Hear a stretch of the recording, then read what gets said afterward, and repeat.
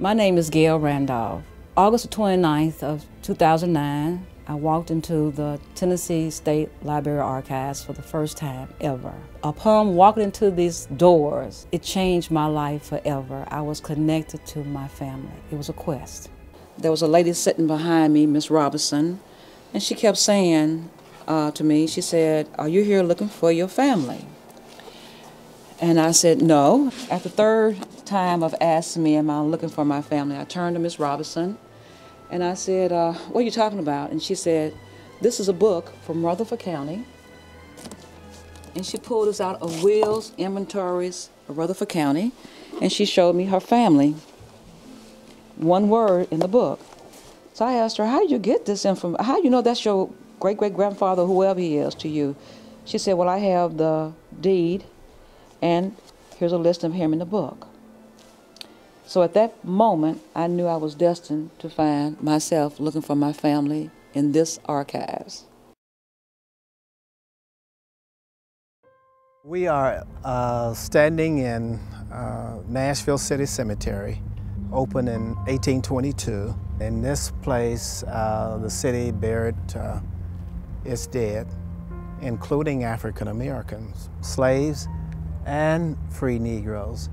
And for a person uh, looking for their family history and genealogy, and they believe uh, they had some connection to Nashville before the Civil War, uh, the Nashville City Cemetery is a good place to start. This cemetery, like many cemeteries, has a register uh, so you are registered in at birth and also we are registered at death.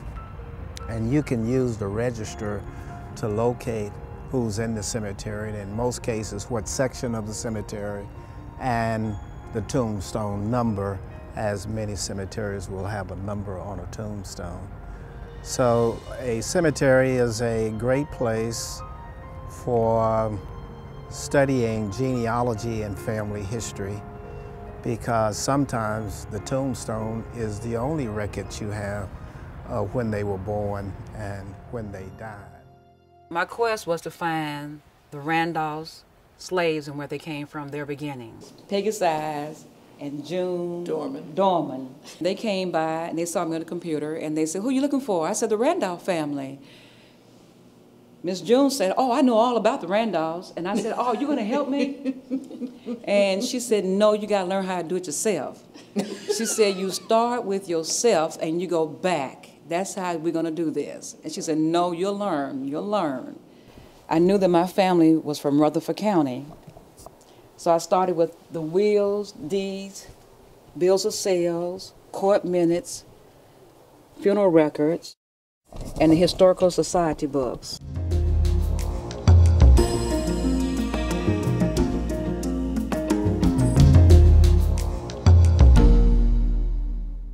Okay, after I went through the books, I came across uh, a family. It said African Americans in Rutherford County, right here. And when I opened up this book, I realized someone had already did a picture story of my family, of the of the of the Detons, the Childress, the Butlers, the Williams, and I saw my grandmother in this book it's like, oh, okay, so I'm finding my family. So when I found my grandmother, Lady Bertha Williams, I knew that this is the right family. So I was working on the Randolph family. So this is my grandfather, Reverend A.H.L. Randolph's wife, Lady Bertha Jaton Williams.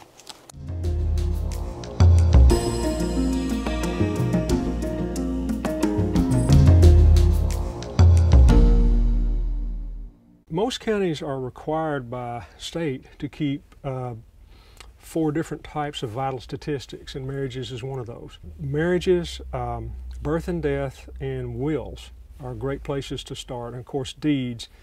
Those things are sort of the bedrock of the county records. One thing we happen to have here uh, is the obituaries. Uh, we just clip the newspaper obituary notice. So that's what we're pulling now is uh, Alan Randolph, who was her Grandfather. grandfather. And obituaries are very valuable because they sometimes they will list the pallbearers, who are usually relatives or good friends, or they'll list the surviving, the widow, whoever survives. They give you a lot of, of family information in there, and they tell you a little bit about the person. This is my grandfather's uh, obituary, brief obituary that they had written here in Nashville, Tennessee. He died in Louisville, Kentucky in 1986. But it speaks about where he was raised, his parents, uh, his siblings, and his two other wives after my grandmother, Lady Bertha.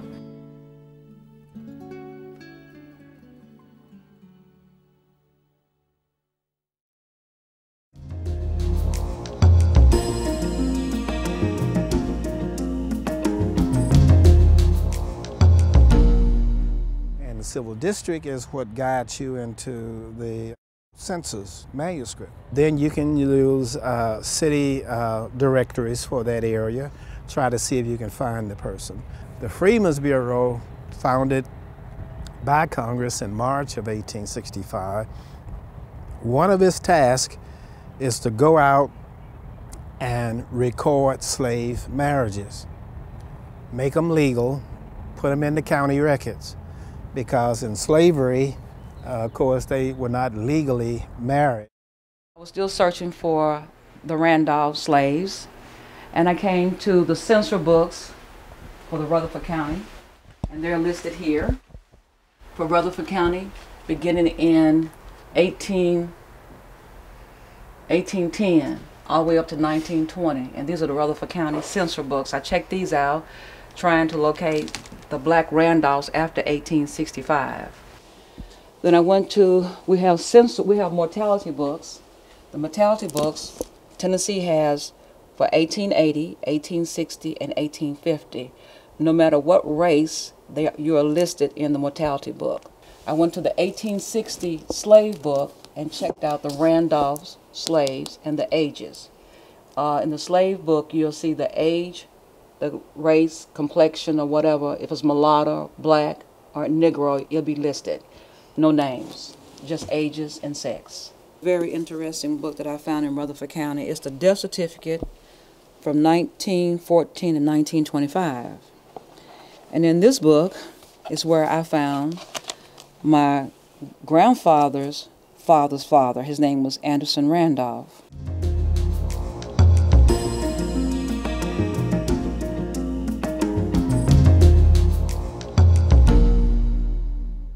We're in the microfilm room plus the reading room for different states. I was sitting at the table listening to them, and I was asking June and, and uh, Peggy, "How do you? How can I find the slaves? I can't find them. I can't find the slaves. I can't find uh, will, deed, bill of sales." So they directed me. They said, "Well, you need to look in the wills of the daughter instead of the sons, because they said that daughters were usually given the slaves." What I did, I came to Rutherford County. I knew that I had to find anything and everything that happened before 1870. There are stories about all of our families up until presently 1960.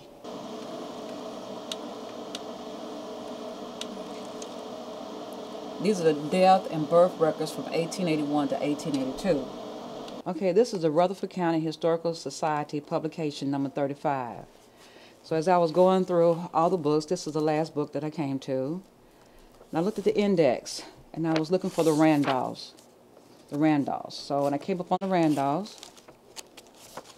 I knew that we were living in the house in the plantation of Beverly Randolph. And this is his mother Mary, brothers and sisters, and sister-in-laws. So I looked at these numbers and I said, this is kind of interesting here. And I say, each one of these have numbers behind them, 1306, 1587. And I said 1306 here uh, behind her son's name. So I said, let me check out the rest of the book. So as I was going through the back, that's when I came upon the slave names in the back of the book. So I came across Betty, because I knew that Betty was one of the slaves. And I saw that her number was 1306. That matches Mary Randolph. So I went through the whole back of the Bible that I have and I saw that all the names were listed in this book. So I went to section 1306 in this in the book.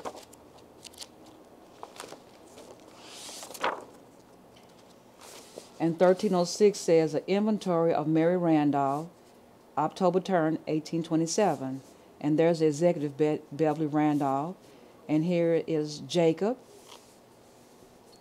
and Betty.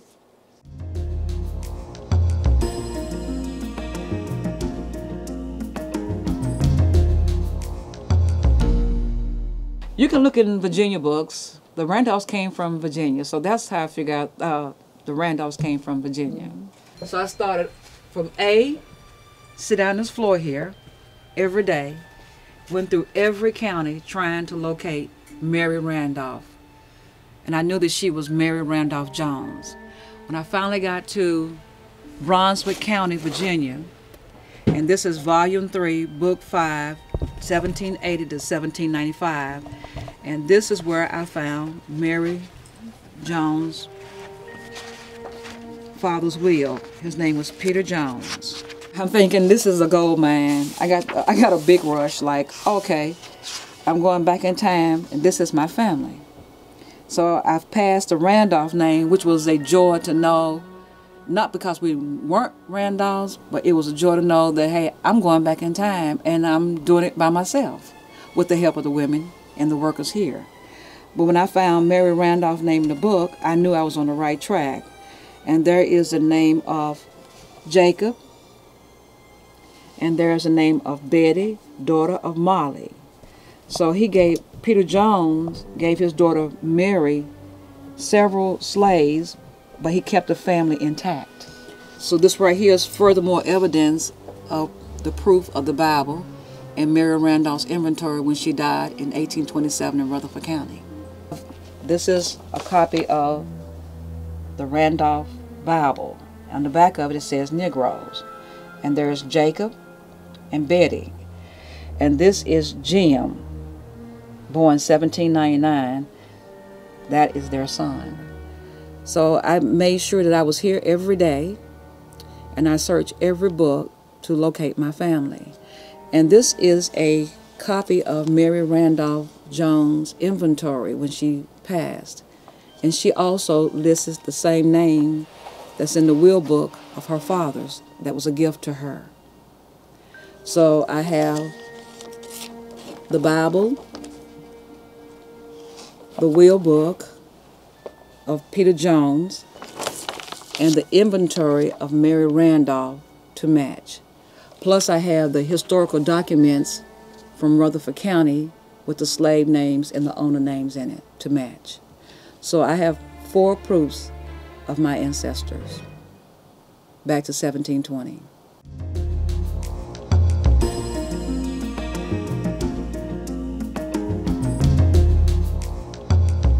Came to Jeannie at the Family History Center in Rivergate to, to seek help in helping me find the family slaves on the back of the Bible. Peter Jones, and he has a will, page three, three will number 317. This is a copy of the original will that Jeannie obtained for me, and it's the will of Peter Jones, and it's dated 1795. What is that, Brunswick County, Virginia? Brunswick. Peter Jones is the father of Mary Jones Randolph, who is the mother of Beverly Randolph, the Randolph Plantation or the Riverside Plantation in Rutherford County. They were the owners of the Randolphs, of my Randolph. My quest and my journey was a pleasant and great journey. I traveled from 1950 to 1720. It took me seven months and I enjoyed every moment of it. And when I came into this building, I did not expect to find the history that I found. I found birth dates and mothers and fathers and relatives on both sides of the family. The name Randolph is just the owner's name, and that Jones is my real name. That is a thrill. It's satisfying. I'm excited about finding out who I am. And it's a fulfilling experience to know who you really are.